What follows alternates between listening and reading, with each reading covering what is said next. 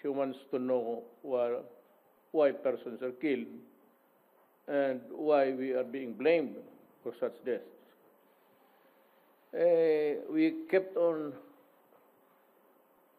denying, because it is the truth, that we have no hand in extrajudicial killings. And that is why I required PTB4 to post part of my briefer the previous night because it is there where all all arrests and uh, incidents about drugs all throughout the Philippines are being posted. So you would know, makikita mo kung sinong namatay, sino hindi. And you notice that uh, probably in uh, two or three publications, there's uh, one, two, or three namatay. But it is not really that uh, many. As you can see, the symbol there is AAA, AAA, that's arrested. At saka yung N, it's neutralized. So yun ang patay. Uh, added to that, sinabi ko sa kanya, tingnan mo, kasi malalaman mo. The other deaths, you cannot attribute it to the drug uh, situation. Hindi lahat ng patay yung itapon mo doon sa uh, parang when you say extrajudicial killing, it really means that it is the government doing it. That is what is it all about.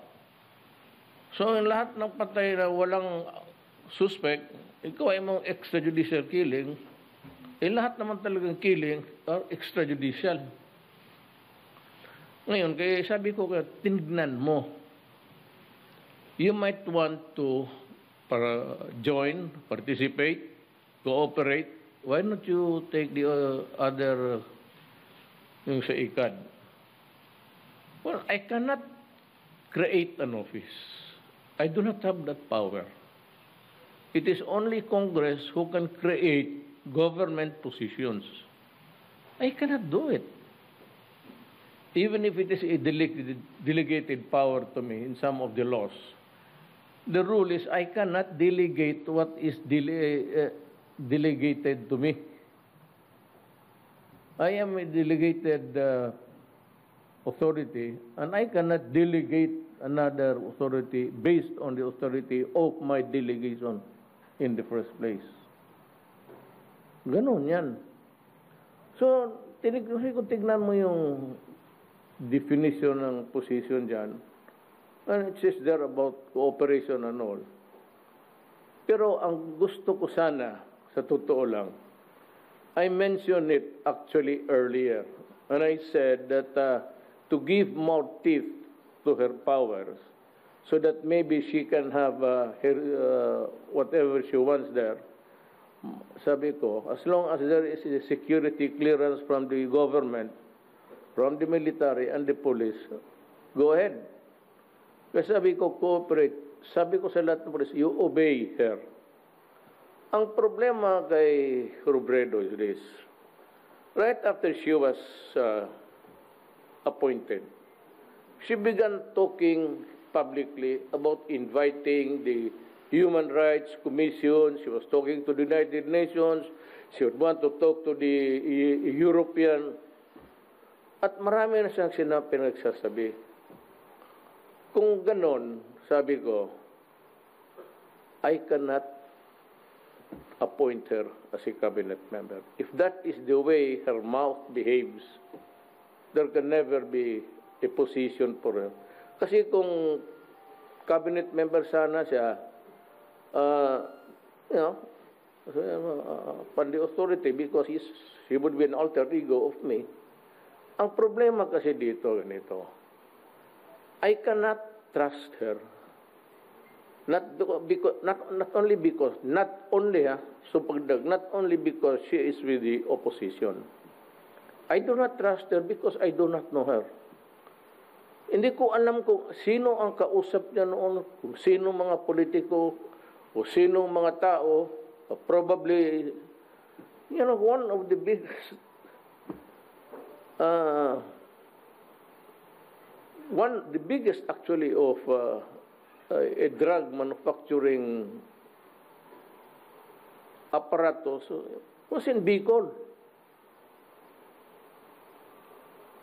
Sinaga. Eh, I'm sure, but in Bicol. So hindi ko alam politiko siya, hindi ko alam kung sino kausap niya. Maybe sabihin mo that her being president qualifies her to be, of course not. I, I disagree with that statement that just because she is a vice president, she has already clearance by virtue of the fact that she is the vice president. No, sir. I, dis- I disagree with you. That cannot happen. As a matter of fact, the military has to know. And the police has to know whereof you you stand and where you came from. And then lang basta na, ging pres of the vice president ka. Karaming mayor na kriminal, namatay na nga eh. The fact of an election is not a security clearance.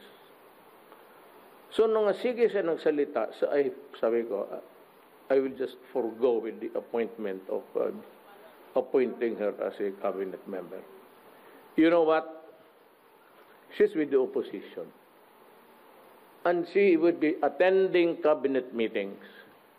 In that cabinet meetings, we discuss mundane matters. We discuss day-to-day matters. We discuss security matters. We discuss critical issues. Ngayon siya kung nandyan, hindi ko man talaga siya kilala. And the way she behaved right after I appointed her does not inspire. It's not inspiring. Natakot tuloy ako. Baka pakitaan niya. Kasi she was question- questioning noon. Ah, yung siya judicial, gano'n na. Kasali na ang politika. You know, I'll tell you what.